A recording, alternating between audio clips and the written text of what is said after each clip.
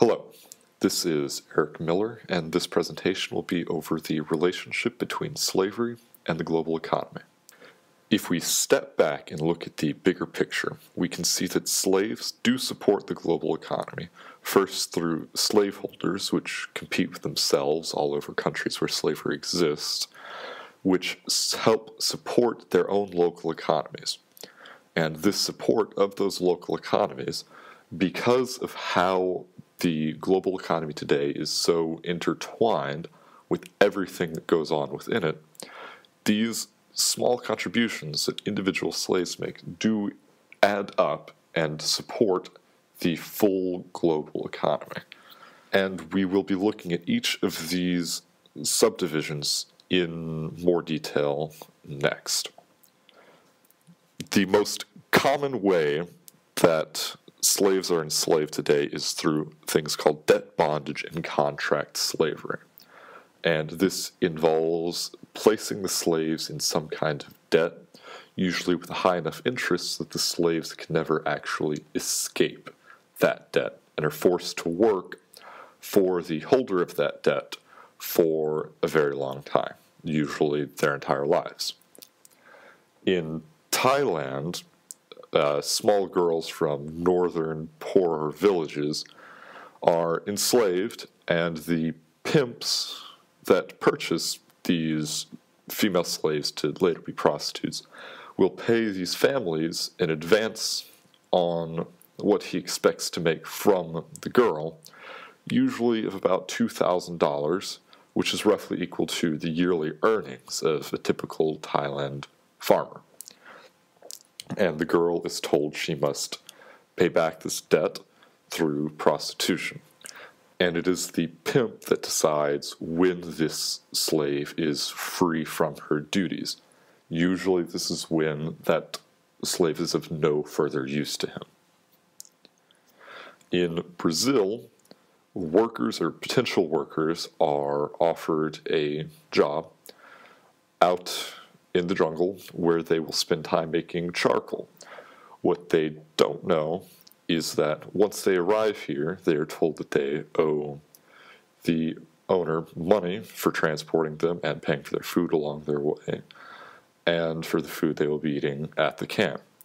And they're paid consistently $280 per month, and most of them do try to pay off this debt and the ones that would like to run away usually can't because once they arrive at these camps, they have their IDs and their workers' cards taken away from them. So their quality of life would be lower outside the camps because of their inability to find any further work. In Pakistan, oftentimes a person's debt already exists because they either inherit it from their father or husband when the husband passes away. But some slaves do acquire debt when they choose to work for these uh, landlords or kiln owners making bricks. And they make bricks at a rate of 1,000 bricks per day and are paid $2 for each 1,000 bricks that they produce. The problem with this, though, is that the cost actually stay alive in Pakistan is $2 per day. Sometimes they are able to get ahead of their debt, but if there is ever a problem in the family, they will immediately fall behind, having to borrow money from their master, continue buying food, or medicine. But in any case, it's very difficult to get out of this state of slavery. In India and Mauritania, the situation with slavery is a bit different. It's closer to chattel slavery, where masters own several slaves. In India, there is a debt, but this debt is never paid off, and oftentimes slaves are born in debt and know they will be in debt until they die. And now we're going to take a closer look at slaveholders or slave owners who view slavery as either a requirement to be competitive or a very big incentive to make much higher profit margins on their investments. In Brazil, slaveholders are paid by the company that owns the batteries they run to produce charcoal based on the profit margins they make at that battery. And because most slaveholders in the area do take part in slavery, any slaveholder that does not use slavery to get an edge usually just goes out of business or isn't paid enough to bother being a manager. In Pakistan, brickmaking is very competitive, and because of the high supply of bricks, slaveholders can only sell those 1,000 bricks a slave family can make in a day for about $20. Running the kiln, however, means that producing those 1,000 bricks from start to finish is going to cost the kiln owner about $18, meaning he's only making $2 profit margin on his investments, which often means that if a kiln owner pays regular wage rates for their slaves or to workers, he will quickly go out of business because he's not making any profit.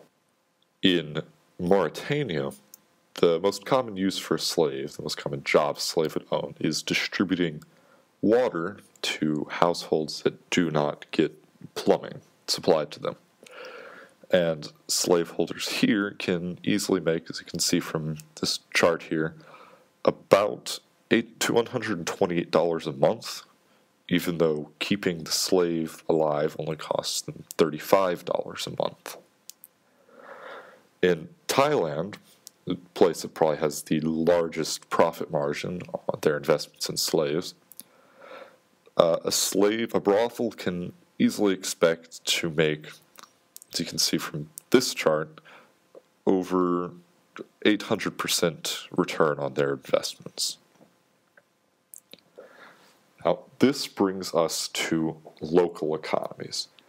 We see that in Brazil, this cheap car- charcoal supplied by underpaying the workers can supply uh, steel mills in the country very cheaply, which allows Brazil to become an exporter of very cheap steel.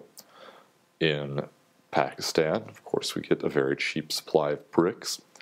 And a subtle effect we see in India is the use of slaves in farming helps cut down on food costs to the rest of the country, which in turn lowers the cost of living in India. And this finally brings us to the global economy.